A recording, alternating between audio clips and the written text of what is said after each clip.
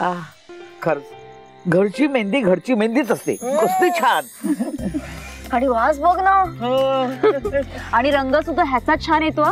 ते बाहेरचे कोण असतात ना त्यात रंग घालतात. आणि कधी कधी ना त्यांची रिॲक्शन येते अलर्जी येते. बापरे बरं झालं मग आपण घरचीच वापरतोय. हो ग. आमच्या वेळेला नाही बाई अशी सरसकट सगळ्यांची मेहंदी रंगायची. आता म्हणजे पाहावं तिची अगदी काळी पडलेली असते. बरं आई उद्या ना मी त्या पार्लरवालीला बोलवलंय. ती लावेल सगळ्यांना मेहंदी. बर बर. हे विशाखा तुला आठवतंय का? तुझ्या लग्नात आपण घरी मेहंदी वाटली होती. काय रंग चढला होता तुझ्या हातावर? मग? केदारचं तेवढं प्रेमच आहे विशाखावर. हे त्याला नाहीच जमणार आहे का ग? प्रयत्न करतोय तो बघू आता. तो असला की मला खूप आधार असतो ग त्याचा. हो आणि केदार काका असला ना की खूप धमाल असते तो खूप मजा करतो. अगं यांना तर क्षणोक्षणी त्यांचे बापू आठवत हो ग पण काय करणार? खरंच इलाज नाही. नाही तर घरचं कार्य आणि केदार नाही असं कधी होईल का? काहीतरी कारण असेल म्हणूनच. पण तरी काही माणसं अशी असतात ना की ती कुठल्याही कार्यात एक वेगळा उत्साह आणतात. तशातला आहे तो. तरी बरं देविका मावशी तरी येते हो. अरे देवा ती येणार आहे. हे बघा मी तुम्हाला सांगून ठेवत्या. ती इथे आली आणि डार्लिंग डार्लिंग म्हणून मला मिठ्या मारायला लागली पप्प्या घ्यायला लागले ना तर बघा. फटकावून काढेन मी तिला.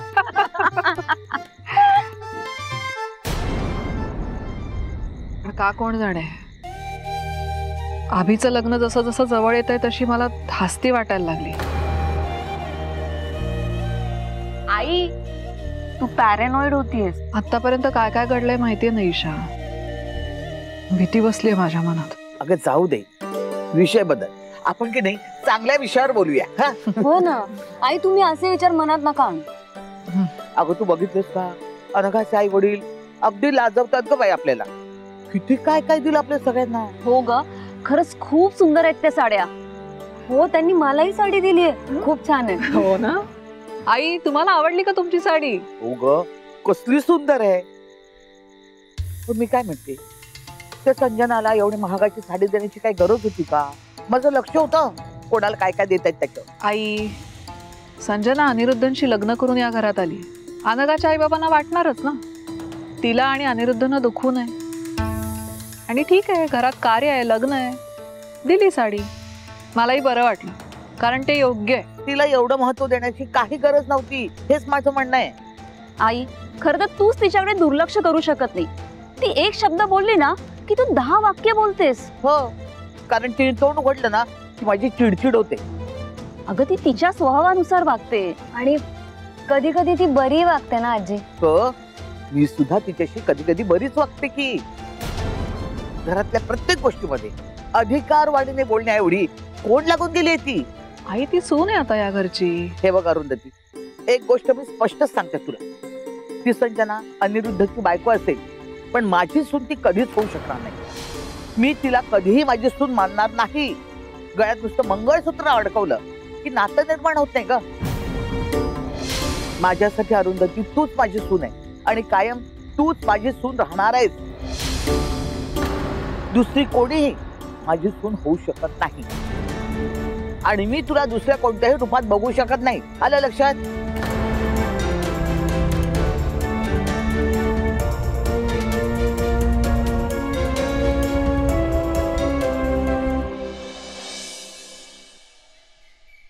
गोळा करून ठेवतानाच नीट ठेवल्या तर गुंता होईलच कशाला.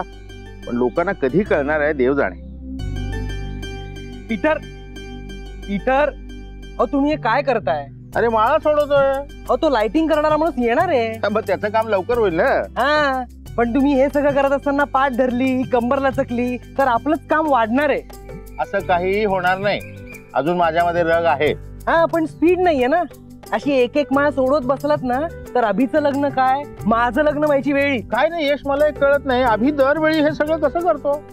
त्याला दिवे लावायची सवयच आहे एवढं आगाऊपणाने बोलण्यापेक्षा मला मदत कर. यशगंधार आज रात्रीपर्यंत लाइट लागायला हव्यात. लागणार अप्पा लागणार. तुम्ही टेन्शन अजिबात घेऊ नका त्या माणसाला मी लवकर बोलू हा. बर.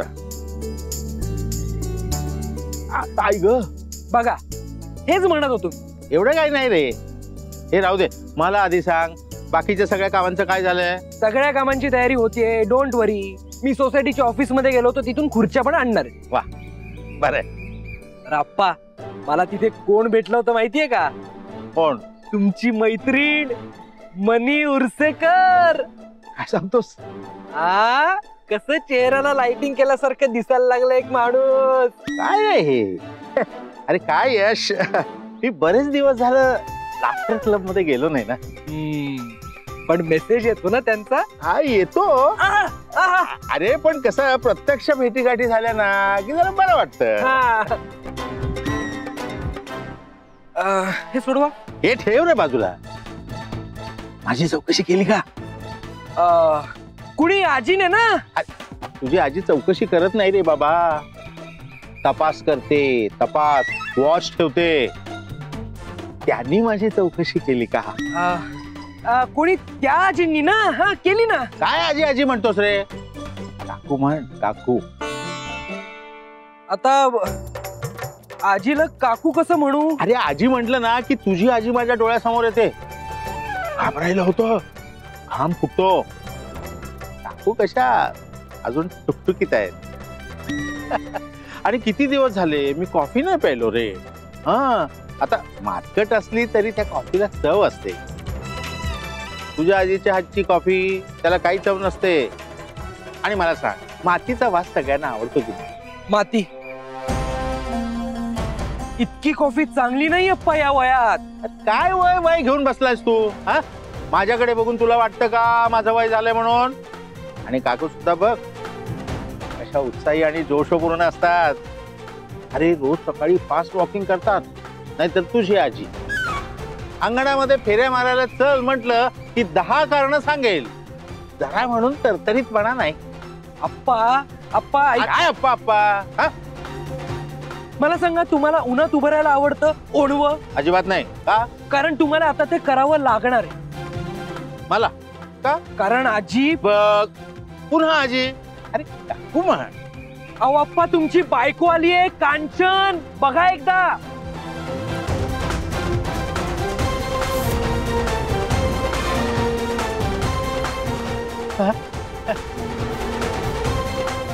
अरे कांचन तू कधी आलीस? ये ये ये ये ये. हा. जेव्हा तुम्ही उठसे करण्याचं जोशपूर्ण असं कौतुक करत होतात ना तेव्हा. जेव्हा तुम्ही माझा उद्धार करत होतात ना तेव्हा. आणि जेव्हा माझ्या हातच्या कॉफीला सुद्धा नावं ठेवत होतात ना तेव्हा. अग असं काही नाहीये.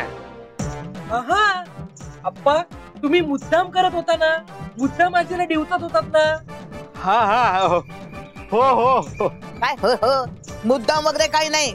अरे मनातली खंत उघडी करत होते तुझ्या समोर जन अगं असं काही नाही. तुम्ही गप्प बसा हो. मी स्वतः सगळं ऐकलंय. आता मला कोणी सांगायची किंवा समजवण्याची अजिबात गरज नाहीये. तुम्ही सगळे पुरुष ना एक सारखेच आणि तुम्ही तुम्ही तर अनिरुद्धचे वडील. तसेच वागणार हो. आणि काय बोलत होतात? वय वय म्हणजे काय असतं? होय ना? बरोबर आहे. अहो पाय घसरायला वय लागतच नाही. तो कधी घसरतो. काही बोलू नकोस कांचन. मी त्यातला नाही. हो? ते दिसतच आहे. ए बाबा यश तू सुद्धा यांच्यासारखाच होणार आहेस. मी सांगते गौरीला. बाई ग याच्याशी अजिबात लग्न करू नको. देशमुखांचे सगळे पुरुष एक नंबरचे ना हे नाही मी मी मी मी- मी तसा नाही. मी मी आई सारखा आहे की नाही? हा? सगळे म्हणतात की नाही? हा? हो विनायकराव देशमुख जा तिकडे ओढवे उभे राहा सुरुवात तू केलीस. कांचन यानं विषय काढला तुला सांगतो. पण मग तुम्ही वाढवलात का?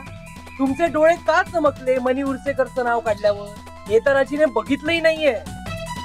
डोळे चमकले? अरे म्हणजे काय? अख्ख्या घराला लाइटिंग होईल इतके डोळे चमकले त्यांचे. झालं. संपलं. अभिचं लग्न झाल्या झाल्या मी अंजरल्याला निघून जाणार आहे. कायमची. Sorry sorry Kanchan. अगं असं काय करतेस? हा? अ, तू बस ना. मी बसणार नाही.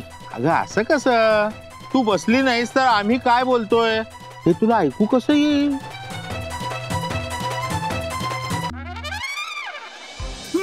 बस बस बस. हा, आता काय? मी काय म्हणतो? तू काही बोलू नकोस. पक्ष बदलणारा उमेदवार आहेस का तू? अरे यार तुम्ही आता ऐन लग्नात असे भांडणार आहात का? अरे तूच कळ लावतोस ना. तू कळ लावणारा आहेस. बरं ठीक आहे. चुकलं माझं. आजी मी उगाच विषय काढला. तुला सांगू का मला खरं तर मनी उर्सेकर वगैरे कोणी भेटलेला नव्हता. मी आपण उगाच चिडवत होतो ग टाइमपास म्हणून. अरे पण किती बोलले हे? बरं कांचन. सॉरी मेसेज येतो का तिचा? जाऊ द्या. जाऊ द्या. सगळं विसरा. पुसून टाका सगळं. तर आजी ऐक ना.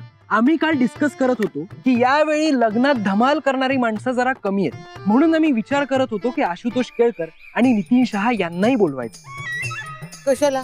जरा लोक असले ना की कसा माहोल बनतो. नाहीतर काय मज़ा? का बाप्पा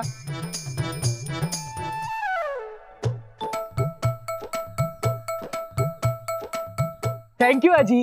मूक संमती दिल्याबद्दल धन्यवाद. ए हे मला अजिबात पटलेलं नाहीये. ऐक जरा.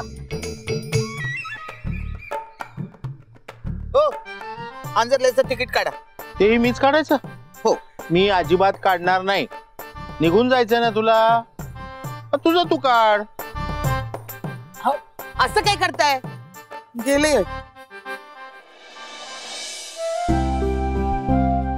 आई मी तयार आहे. अरे वा. छान देवाला नमस्कार कर. नवीन काम सुरू करतोय जागेचं डील फायनल करतोय मी तुला नमस्कार करतो. अरे.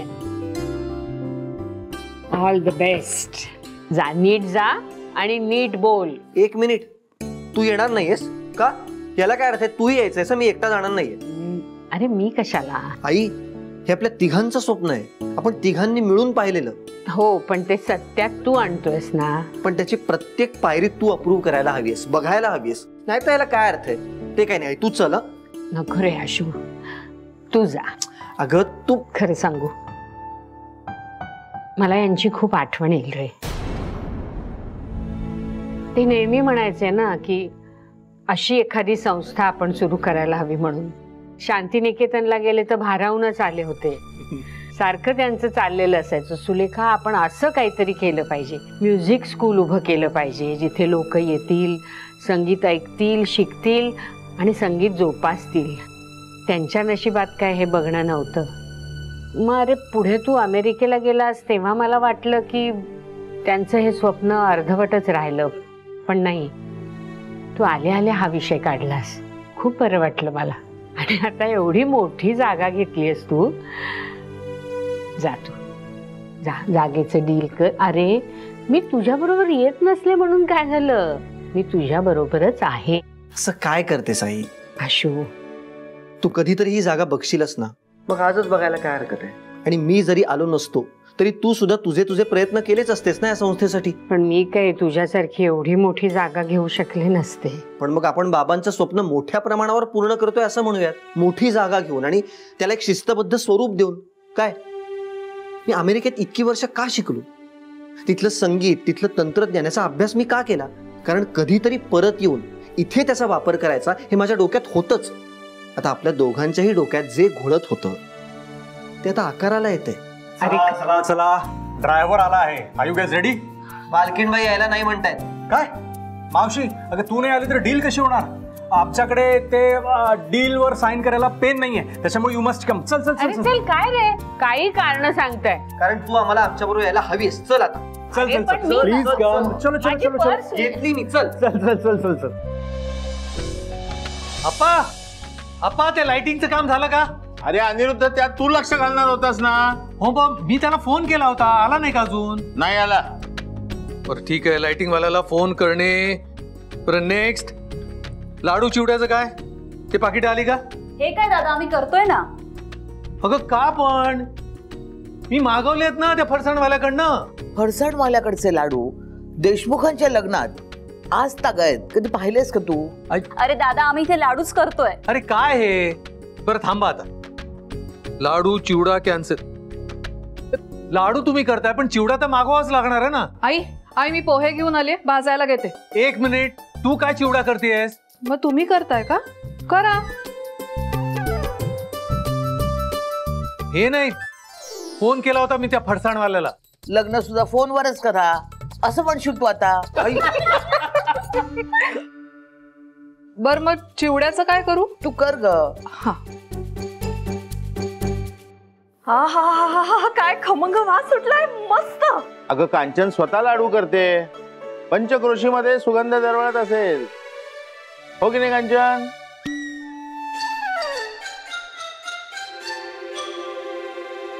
एक कांचन अ, मला एक लाडू दे ना. अनिरुद्ध यांना सांग.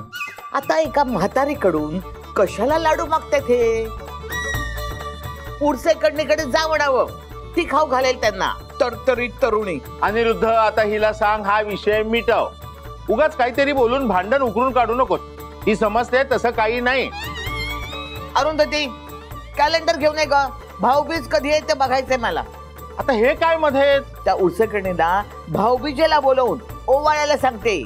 बघते तुम्ही तिच्याकडनं ओवाळून घेता की नाही ते? दात काढायला काय झालं? चल इकडे बस. लाडू वळ. हा. हे. हात तरी धु ना. जा हात धुवून ये. आजी चहा साखर दूध सगळं आणलं. ए ईशा. त्या पिशव्या आत नेऊन ठेव जा. मी काम करते लाडूला एक एक बेदाणा चिकटवणं हे काही काम नाहीये. मग आपले आपण चिकटणार आहेत का ते? कोणीतरी करावंच लागतं ना आगाऊ. चुप. तू चुप. तू चुप. लाडू मी ठेवते. बरं विशाखा त्या बस स्टॉप जवळ जे ब्युटी पार्लर आहे ना त्या बाईला मी विचारलंय ती लग्नाच्या दिवशी तासभर आधी येणार बाबा मी पार्लर वाली ठरवलीये. का? अगं मी बोललो त्या बाईशी. अरे ब्राईडची ट्रायल असते. आणि एक तास आधी येऊन कसं चालेल? आता हे मला काय माहीत? बरं ठीक आहे. नेक्स्ट मेहंदी.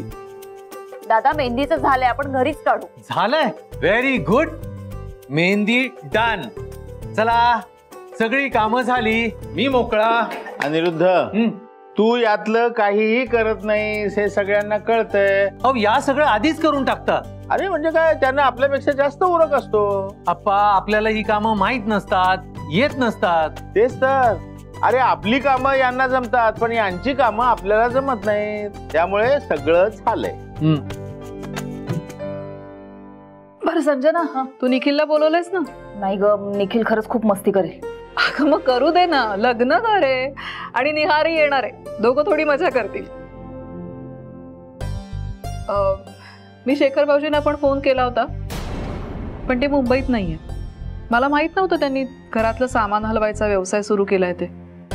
लग्नाच्या दिवशी पण पुण्याला दोन टेम्पो जाणार आहेत त्यांचे. त्यामुळे त्यांना नाही जमत आहे. निखिल एकटाच असेल तर त्याला घेऊन ये. दोन दिवस आधीच आण विचारते निखिलला. हं, बोलव ग त्याला. आणि त्याला सांग हा. तेरी बेराजी चांदोबाची वाट पाहते म्हणून. मी आजच शेखरला फोन करते. आणि त्याला सांगते तुझे बाकीचे सगळे प्लॅन्स कॅन्सल कर. लग्नाच्या दिवसांमध्ये निखिलला मी इथे घेऊन येणार आहे. हा पण तीन चार दिवसच हा? हो आई. तुम्हाला निखिल इथे हवाय हे बघून खरंच खूप बरं वाटलं.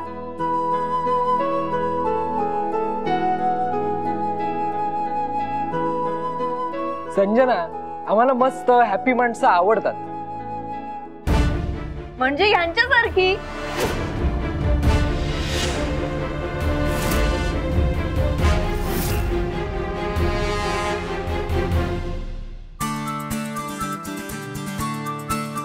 अरे आशुतोष वेलकम अरे वा वा वा वा वा.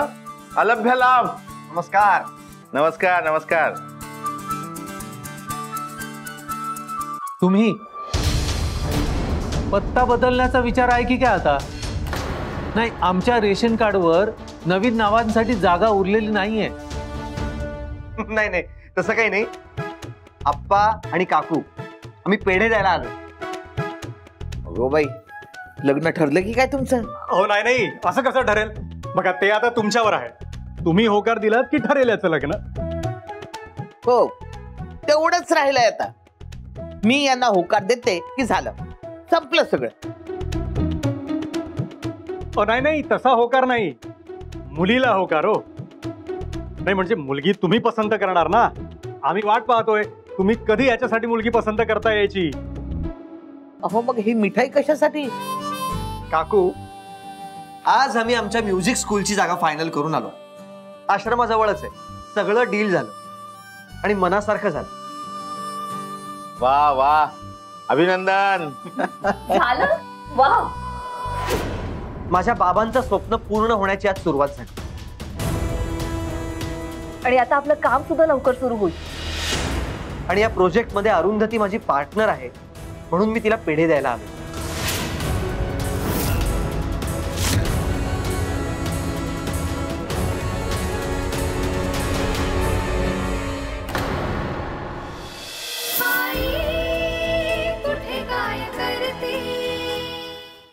धमाल मनोरंजनाचा आस्वाद घेण्यासाठी बघत रहा स्टार प्रवाहचं यूट्यूब चॅनल आणि हो मुळात ते चॅनल आधी सबस्क्राईब करायला विसरू नका.